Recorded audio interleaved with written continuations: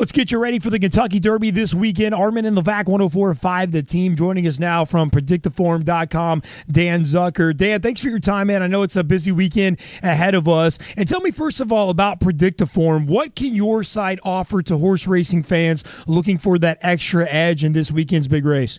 So here's the deal with our site. We produce our own pace figures and, and play value, but it's all about the odds and it's all about value. So we look at who's going to win the race, but then we look against their odds and we try to help players find out where the value is. You don't need somebody to tell you that a favorite's going to win all the time. Yes, that's logical.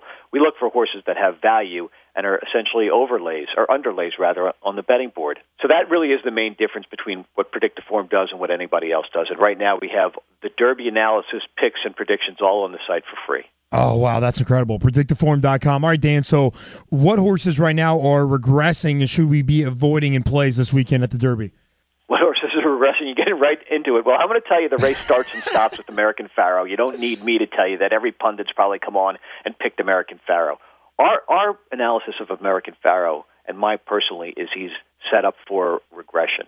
He's a 5 to 2 favorite. I felt like his last race at the Arkansas Derby was a lifetime top it was without a doubt his fastest race from a figure perspective.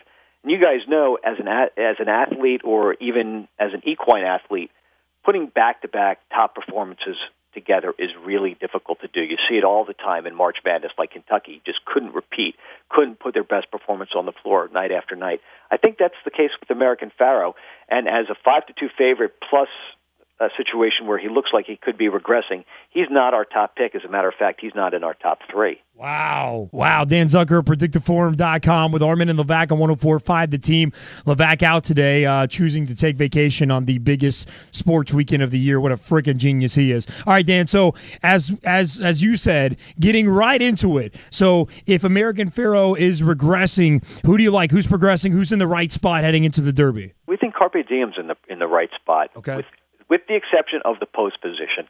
The unique thing about Carpe Diem for me is he's got this running style where he's able to he's won races on the front end, in the middle of the pack, which is called stalking, and from the way back, which is called closing. It's very difficult, eh, actually very difficult. It's impossible to train a horse to do that. You can train a horse to do one of those three, but a horse that can do all three has natural ability.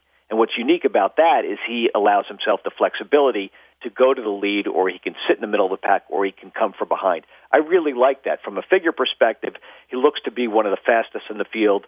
His father, his sire, Giant's Causeway, uh, has the most graded stakes winners in 2014, so we know he's bred well.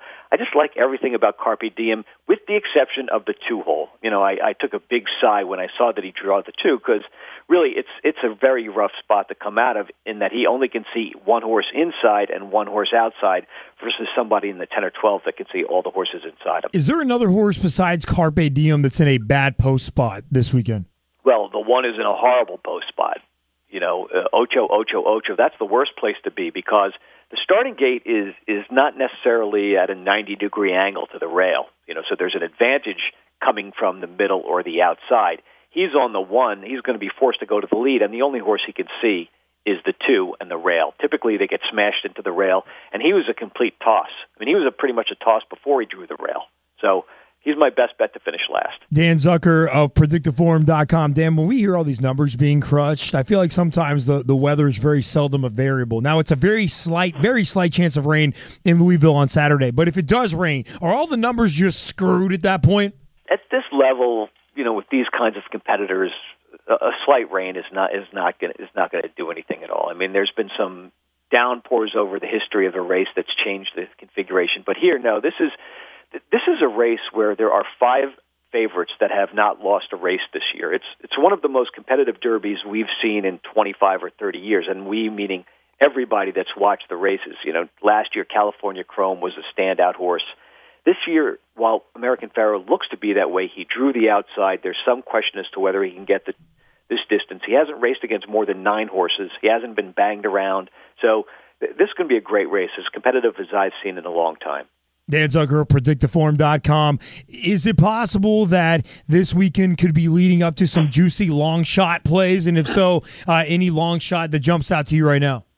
Yeah, I mean, let's not even talk about the long shots. Let's just talk about the financial pressure and the way the board's going to spread. What I mean by that is There are three favorites, really two clear favorites in here: American Pharoah and Dortmund, five to two and three to one morning line. Both of those horses are going to get significant financial pressure. There'll be a lot of money on them.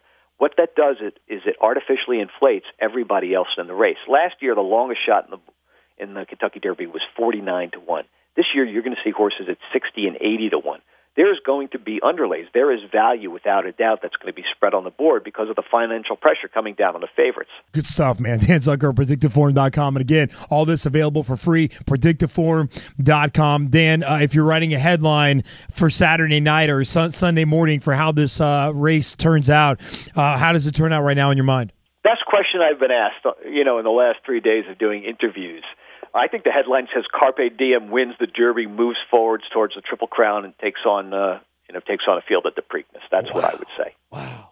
Great stuff, Dan. Really what, what do you need me to say? American Pharoah wins the Kentucky Derby like everybody else is going to say? No, I like it, man. I'm in. You're making me rethink every everything, every play I was going to play for the weekend. Well, you guys are up at Saratoga. Saratoga is my most favorite place to go in the whole wide world. Man, I go there every year. Well, dude, when you're here this summer, let us know. We'd love to have you in studio and talk for a little bit. Yeah, let's do that for sure. Sounds good. Dan Zucker, predicteform.com. Again, check out his fine work, predicteform.com. And Dan, we'll definitely be in touch, man. All right, Armen. Thanks for having me on.